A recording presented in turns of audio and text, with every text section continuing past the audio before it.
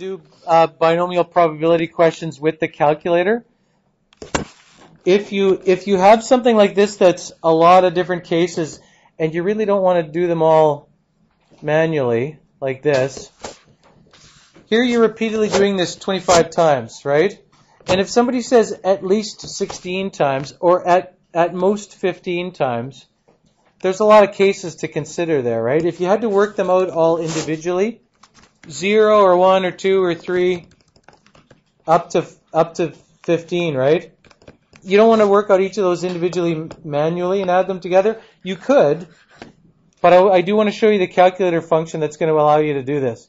So we're gonna we're gonna work with this situation here. You're spinning this thing, and it says you're spinning it 25 times. So n is 25 we want to know, I'll write it over here, n is 25. We want to know what's the chance of having, in this case, x is 16. n is 25, x is 16, right?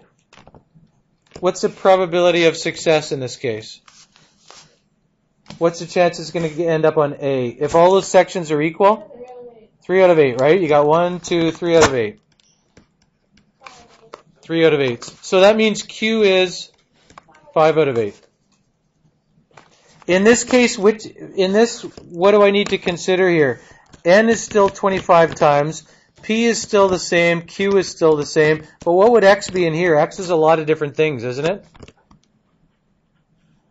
16, 17, 18, up to what? 25. What about this one down here? At most 15? N is still the same. P is still the same. What's X? What numbers am I looking at here? 0, 1, 2, dot, dot, dot, 15, right? There's a lot of different cases. What does no more than 10 mean? What's X here? No more than 10? Less, it means less than 10? No more than 10 means something different than less than 10. 10 and under. Yeah, no more than 10 means 10 and under, right? 10 includes 10. This includes 10, right? So this is 0, 1, 2, up to 10. I want, I do, okay, so I'll show you how to use the calculator feature. We will do this one first. Here's the calculator feature this is for this particular type of calculator. I'm sure there's equivalent things on other calculators. Let's go to this particular calculator. This is on this.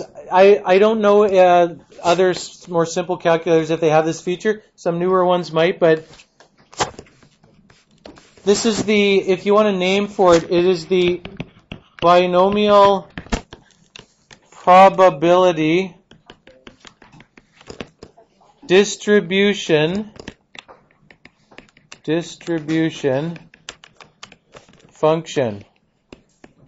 Does that seem like a good name for it? Because a distribution meaning all the different possibilities.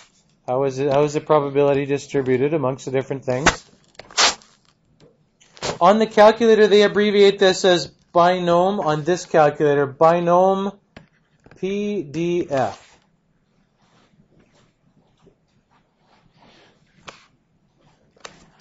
This allows you to, this calculates one single case.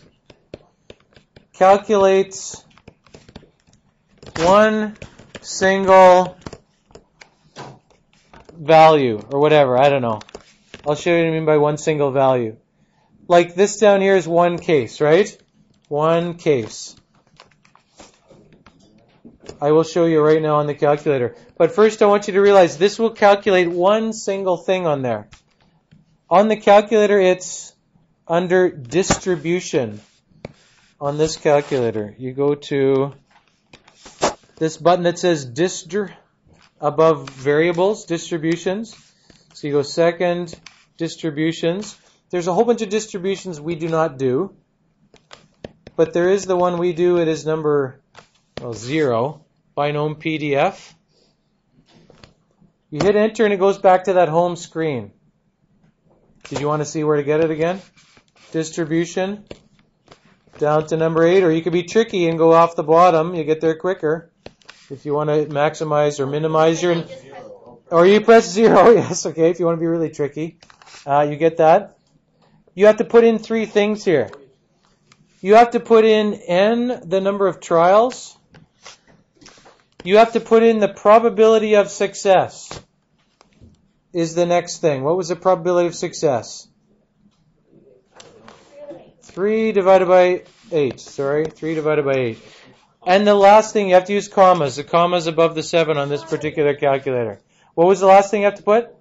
It can figure out Q. If you give it P, it can figure out Q, so you don't need to put in the Q. It needs to know X, so I'm going to put in 16 here, right? And you put enter and it gives you a number. Let me uh, do this. It does help. That is the answer. I know that I bias you towards putting fractions, but let's take a picture of this and see. I guess we don't need the whole thing there. Come on. Now, we're going to go over here. We're going to put this next to what it is here. You could calculate it by hand. That's the number that's going to come up. That's the value that, that it gives you here, right?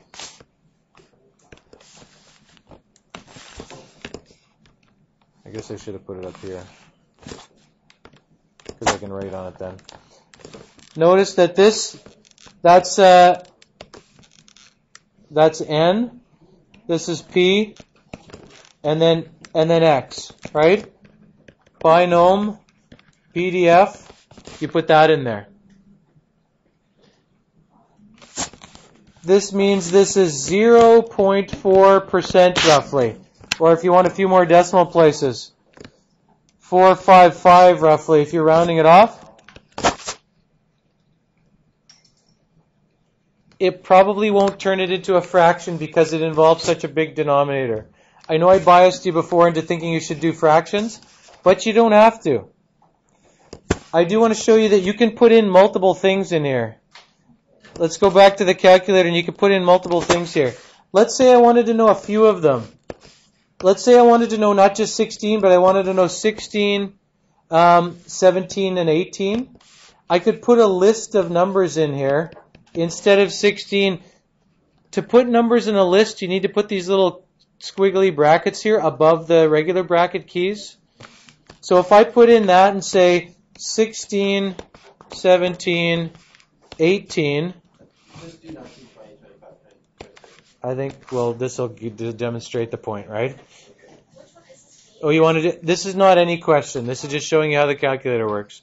If you want to put this in, it'll, it won't give you a single value. It'll give you a list of values. The first one of which is the one we just calculated. But then if you scroll across, it just saves you time if you want a whole bunch of them. Please notice that some of them, if the numbers are small enough, how is the answer given? Scientific notation, right? So don't just skip that and say, look, it's 3.85.